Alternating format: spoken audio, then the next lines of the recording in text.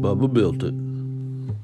Hey everybody. This morning uh, I walked into the shop. It's been a little bit since I've been in here and uh, as soon as I saw Generalissimo, my face cracked into a big old smile. Check it out. This is the part right here. Look. Oh my goodness. it, it just, this right here cannot capture it. It really fails to grab the presence of this build. It's amazing. And of course, we've got it down. It's sitting on the ground on its wheels. And so you're just getting the full width of this build. It is mind blowing. And Michael's been back here uh, filling in everything, uh, all of the Swiss cheese, the uh, rusted metal, and all that garbage. So anyway, let's talk about width. We just Okay. we pulled the tape measure a little while ago. Yeah, we just pulled the tape measure. It was 84 inches. also known as seven feet. Seven feet. We were like, wait a minute, six feet 72. So Yeah, so- seven feet wide. you might remember uh, a few, some weeks ago when we were working on the front end, we were like 81 and a half inches. Wow. And that was amazing. That was amazing. And this, and this is the widest part, and this is including the little bit of width of the fenders to clear the wheels. And it is a full 84 inches to the outside. Boom. So this thing is, ah, it's uh, it's eight, it's it's it's like six inches wider than Scraptona, which was already wide, and um, and it really just just covers the wheels. I mean, that's all it does. But uh, we've done a lot of modifications to these rear quarters to make this work. Um, one of the things that's nice is just how seamless it all looks when you do it this way. But uh, the tops of the quarters, so here's where we cut those out. And this is what this is what's left behind right here. And of course, we use some of this inside to repair some rust damage as well. But we cut these down through here and basically added four inches on either side.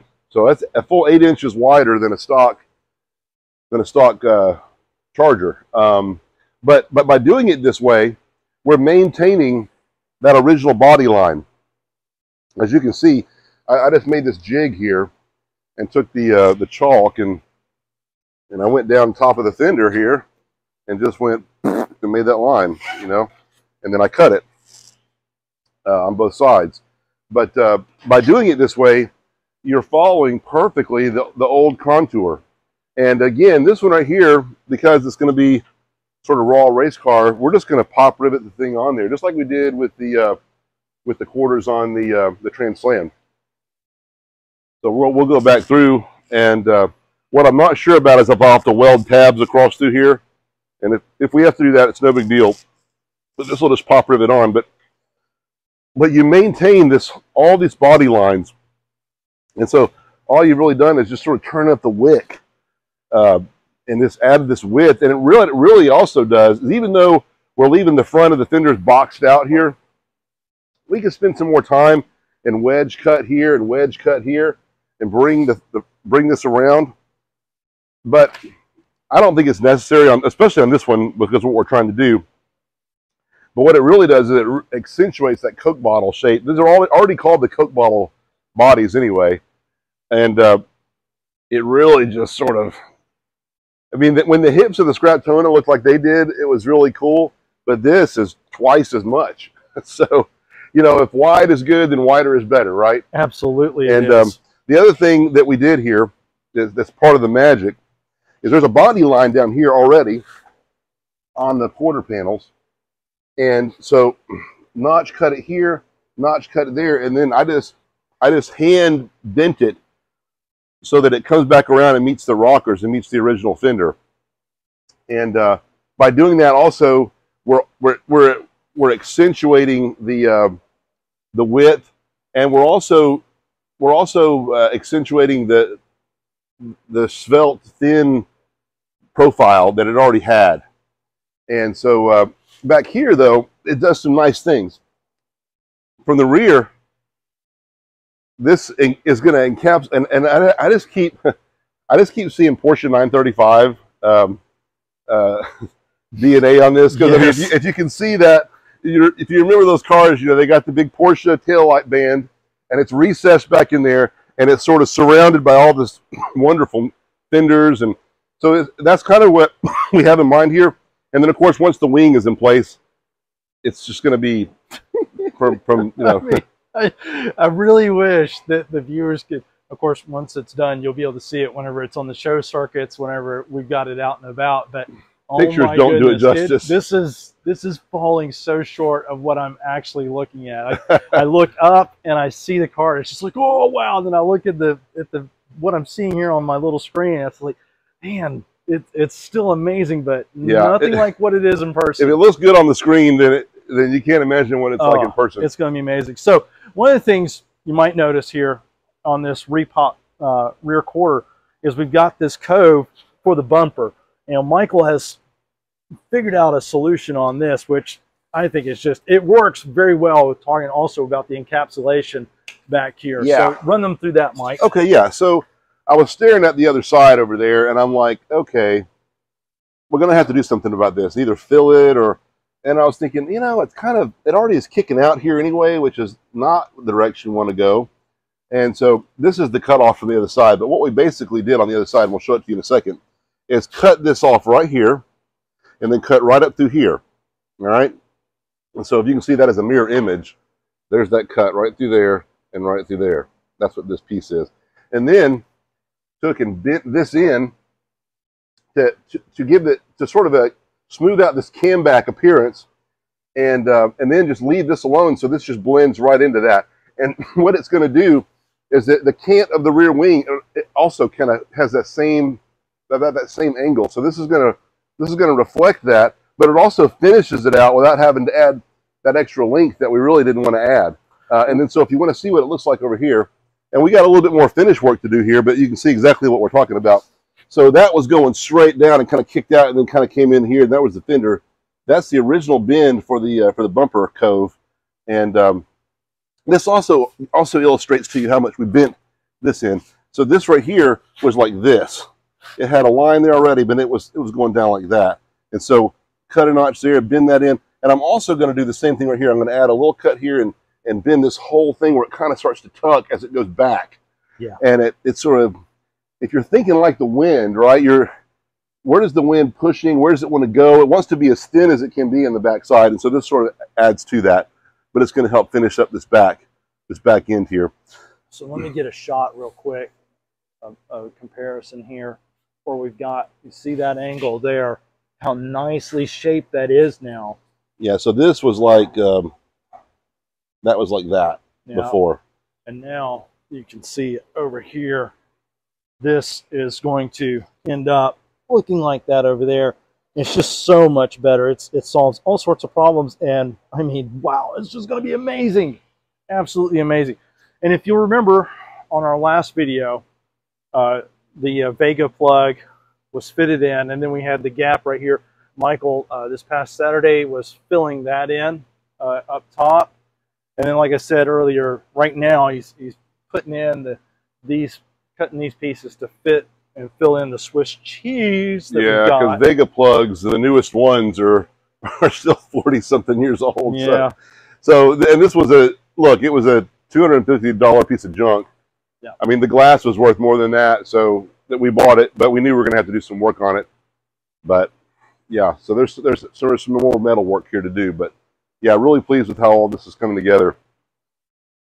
Oh, yeah. I mean, it's again. I really this cannot capture. It is bananas.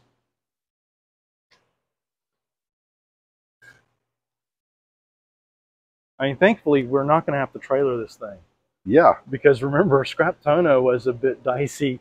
I mean, for all sorts of reasons, right? But it was Oh, wide. Loading that thing on a trailer without a winch was probably one of the most terrifying things I've ever done. It was terrifying.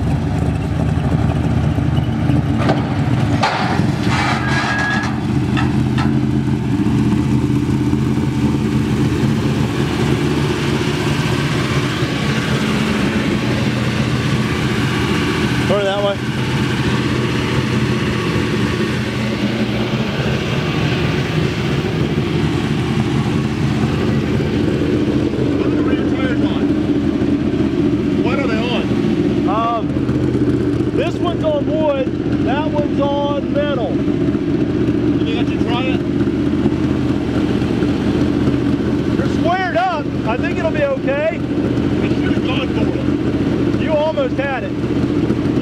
Probably hit that fender though.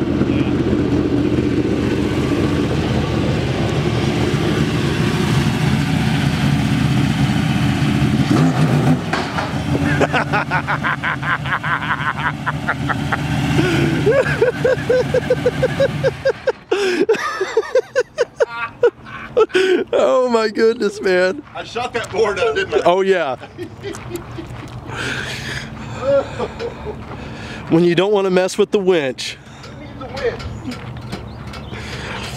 Oh man. Hey, don't forget to turn the lights off. Okay, I gotta get the. There we go. Tommy, tell me you got that on film.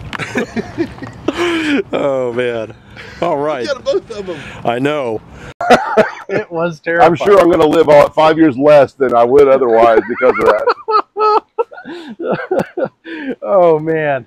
So I guess next steps we're gonna um, we're gonna wait about mounting these rear quarters Yeah, you know what? permanently until we've got our wing.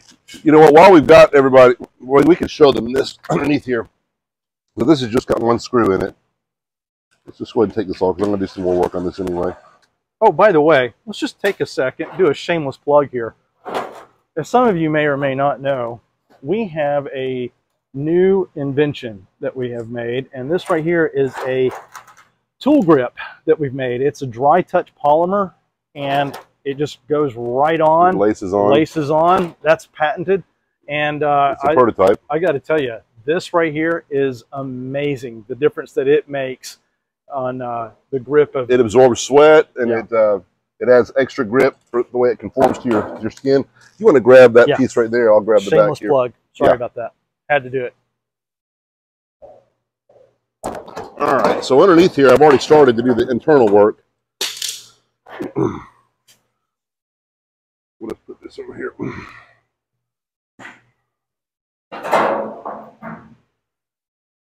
Yeah, I was just there right there. There it goes. Okay. Yeah. So this shows you what I've been working on here. Cut the wheel well out. I took the old metal, I'm tacking it back in, and uh, but like Lee was saying, we're leaving this open right now because when we put the wing on here, we're going to have to come back up here with some steel and reinforce all this. As you can see, there's not anything right now. We want to tie it into the substructure Yeah. of the car to the platform. So in the NASCAR uh, iterations, they literally had round bar that came up in here, into the wing all the way up. And we could do that too. I don't think that's going to be necessary, but uh, we're definitely going to have to come through this down all the way to here and tie all that in. So leaving this part open, buttoning all this up uh, with the original metal. And uh, as you can see here also, we were dealing with some old accident damage. And we're going to leave this just because it, it tells a story on the, you know, the crazy history of the car. They actually brazed, they actually leaded this fender on. oh my goodness! this quarter it on. was it was one of the worst repair jobs I think I've was- ever seen in my life. It was bad, but you know, hey, when we bought the car, there was a split from here all the way back to here, where the fender was just there was a literally a split there. But when we started to put that on, we, I noticed that this was a half an inch low right here, and it tapered out to zero there. So I had to, I was already correcting that right there. But that's that's the inner structure. That'll help seal away from the you know from the elements. But we'll do the same thing on the other side.